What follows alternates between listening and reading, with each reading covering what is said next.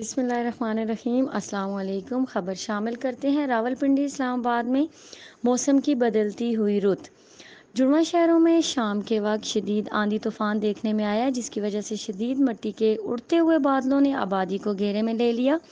दरख्त झूम उठे, बहरहाल अब तक किसी जानी माली नुकसान की इतला नहीं मिली। गुजशत दो रोज़ की गर्मी की शिदत से बिजली के फीडर ट्रिप कर गए थे। आंधी के बाद शदीद गरज चमक के साथ बारिश भी हुई। शहरी बारिश से लुत्फानंदोज होने के लिए घरों से बाहर निकल आए। बच्चों ने भी बारिश के खूब मज़े लूटे। महकमा मौसमियात के मुताबिक आज रात मतला मज़ीद अबरलूद रहने का अमकान है। मुनीबा सुल्तान, रिपोर्ट, इस्लामाबाद।